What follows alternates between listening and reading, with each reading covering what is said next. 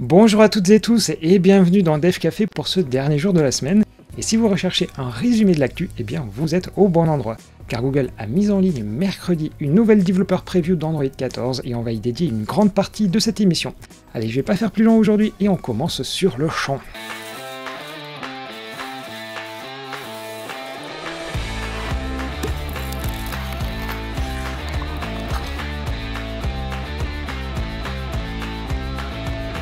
Pour commencer, je vais très rapidement vous faire un état des lieux des nouvelles versions qui sont sorties. Tout d'abord, Flutter passe en 3.7.7 mais corrige essentiellement des bugs, et chez React Native, la version 0.71.4 met à jour quelques dépendances et modifie le comportement des flatlists. Côté langage, cette fois-ci, Kotlin se rapproche de la version stable car la release candidate de la 1.8.20 est toute fraîche. Puis côté Android, il y a énormément de nouvelles versions pour les dépendances Jetpack et on note aussi des améliorations sur le Recycler View si vous utilisez des Compose View à l'intérieur des cellules. Et enfin, une nouvelle version de test de Safari est disponible et supporte des nouvelles propriétés CSS, optimise l'interprétation du code JS et ajoute quelques attributs et méthodes dans les Web API. Comme je vous ai dit, j'ai fait vite et pour chacun des cas, vous trouverez tous les détails dans la description. Rapidement, je vous parle trop souvent de .NET MAUI en mal, mais voici un projet qui clone l'application Wanderous qui est faite en Flutter, avec notamment pas mal d'animations un peu dans tous les sens. Mais contrairement à la version Flutter, elle ne tourne que sur le format smartphone, mais elle n'en reste pas moins pour le moins intéressante car elle mélange notamment du Blazor qui est la galerie qui est faite en JavaScript. Alors si ça vous intéresse de voir le code qui est derrière, et d'ailleurs il est plutôt bien fichu, je vous ai mis là aussi le lien dans la description. Côté solution de CI/CD maintenant, malgré son âge, Jenkins est encore beaucoup utilisé aujourd'hui et des chercheurs en sécurité ont découvert plusieurs failles qui peuvent exécuter du code à distance et de manière totalement invisible. Alors sans rentrer dans les détails, je vous renvoie vers l'article pour ça, mais c'est un problème lié au plugin, et le plus simple, c'est de mettre à jour au plus vite votre Jenkins.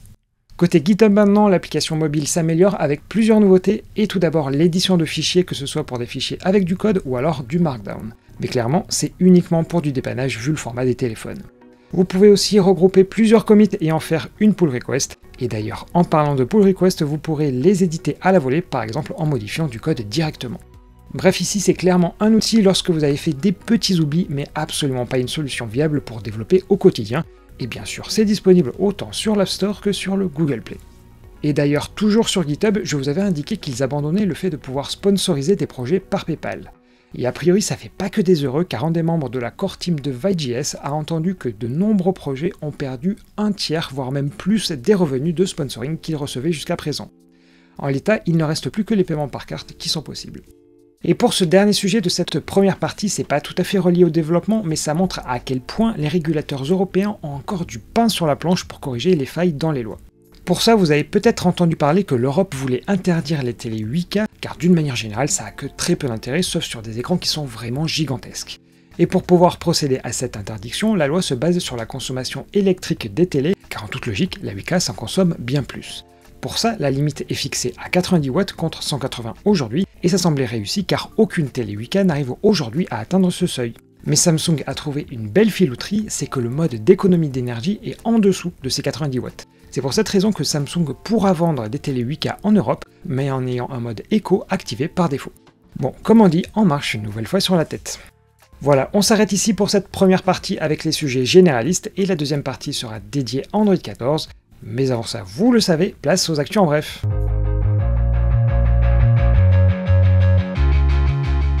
Google Lens peut notamment traduire le contenu affiché par la caméra.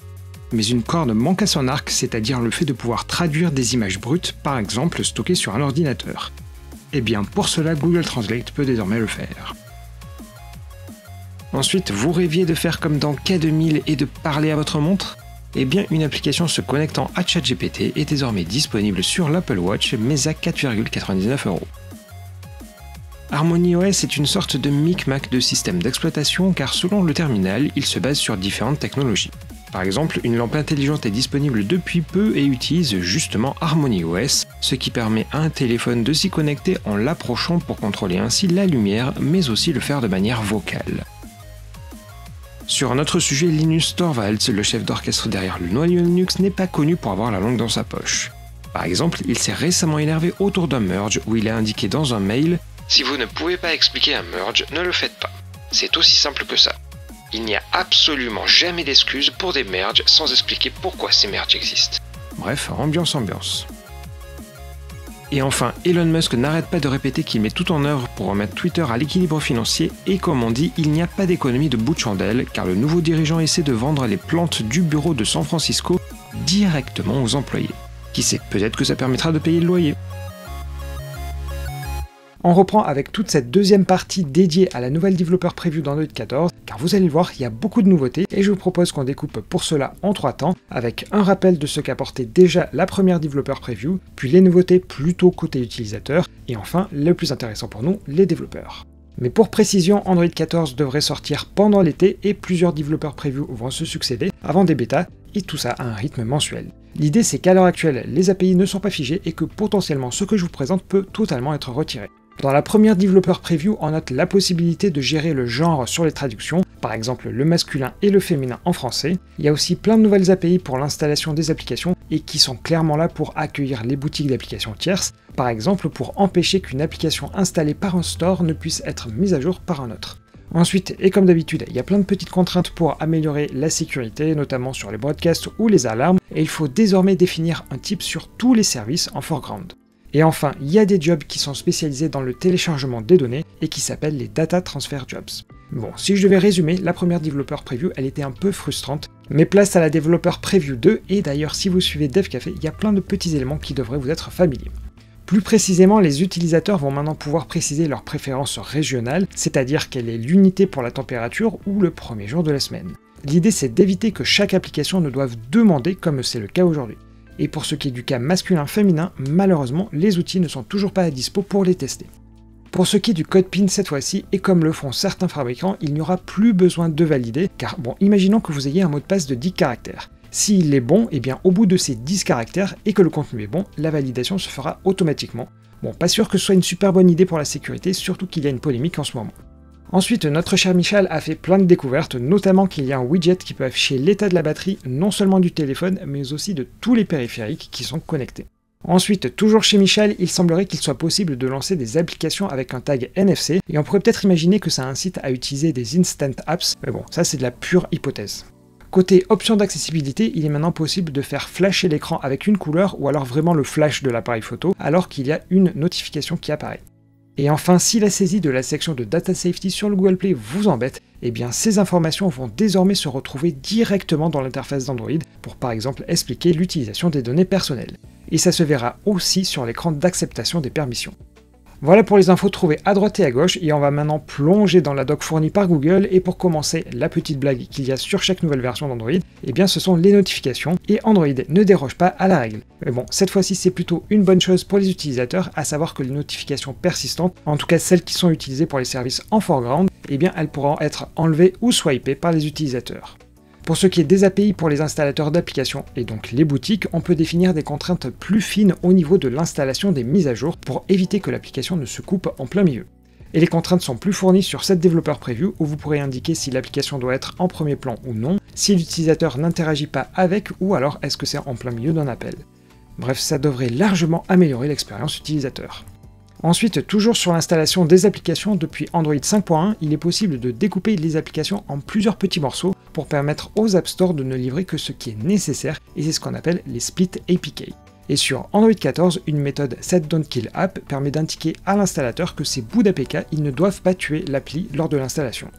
Enfin, il y a une toute nouvelle API qui permet de détecter si l'utilisateur prend des captures d'une application. C'est très utilisé notamment sur les shorts et les stories. Et dans l'idée, en rajoutant une permission et un ball callback, vous serez notifié de cette capture et l'utilisateur d'ailleurs il verra un petit toast pour le notifier. Par contre, si vous voulez empêcher ce comportement, c'est toujours la même chose, à savoir utiliser le flag secure sur la fenêtre. Ensuite, il me semble que c'est nouveau, mais sur le Media Store, si on fait une requête et que l'on demande le nom de l'application à l'origine d'une ressource, le nom sera désormais masqué par défaut, à moins, bien sûr, que ce soit un fichier public. Pour ce qui est de l'aspect multimédia et si vous n'utilisez pas le photopicker, les permissions vont ressembler à celles d'iOS, à savoir que les utilisateurs pourront choisir de donner accès à toute la bibliothèque ou uniquement à certaines photos et vidéos que l'utilisateur aura donc choisies. Et d'ailleurs, côté utilisateur, un petit logo peut maintenant s'afficher si le contenu audio est explicite. Et voilà pour ce résumé sur Android 14 Developer Preview. Bon, c'est un peu mieux que la Developer Preview 1, mais ne vous inquiétez pas trop sur le manque de saveur de cet Android 14, car généralement Google garde l'essentiel pour la Google I.O. Mais bon, généralement, il y a toujours quelques découvertes à faire dans les prochains jours, et bien sûr vous les retrouverez ici dans Dev Café. Et vu que c'était le dernier sujet du jour, eh bien je voulais vous remercier pour vos petits messages d'hier car on a dépassé les 150 numéros de Dev Café. Et vu qu'on est vendredi, eh bien il n'y aura pas d'épisode demain, mais je pense quand même vous sortir une vidéo ce week-end sur le Firebase App Distribution qui permet maintenant de recueillir les retours des utilisateurs. Mais bon, si ça vous intéresse pas, pas de problème, rendez-vous lundi pour de nouvelles aventures. Et bon, je vous souhaite forcément à toutes et tous un très bon week-end, et même si je crois quand même qu'il doit essentiellement pleuvoir. Mais bon, Dev Café fait peut-être dans la météo, et on va trop loin là-dessus. Allez, à lundi et bon week-end.